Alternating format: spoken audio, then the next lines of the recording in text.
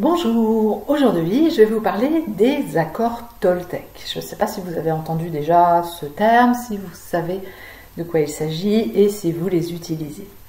Les accords Toltec, il y en a quatre plus un, le cinquième, et c'est une base de travail pour soi et pour être en relation avec les autres. Donc je vais vous les expliquer un par un, un par vidéo, et puis donc on va bien sûr commencer par le premier. Donc, premier accord Toltec. Le premier, que ta parole soit impeccable. Qu'est-ce que ça veut dire? Que ta parole soit impeccable, c'est une invitation à faire attention aux mots que l'on va dire, surtout vis-à-vis de soi. Il faut savoir que dans le langage courant, c'est quand même très très très courant. Moi-même, je l'ai fait très souvent. Ça m'arrive encore quelques fois de dire Oh putain, mais quelle cloche euh, Pourquoi j'ai raté ce truc-là? Ou ah non mais franchement, euh, je suis vraiment une bonne à rien.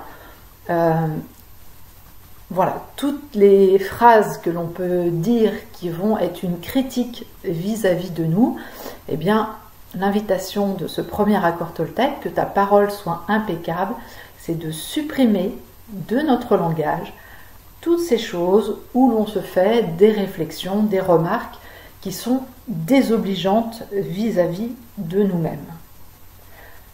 Quand on prend le temps d'y faire attention et de les corriger, eh bien, naturellement, déjà, on arrête de se faire du mal, on arrête de s'envoyer des cochonneries à la figure, et puis, naturellement, on prend le pli de dire Ah, ok, bon, j'ai raté, je vais m'améliorer, ou je suis en progression, ou je m'aime, je suis fière de moi, euh, j'avance. Euh, je réussis de mieux en mieux, etc. On peut mettre tout plein de formules qui sont positives, qui euh, vont nous aider à supprimer tous ces mauvais mots que l'on peut se dire.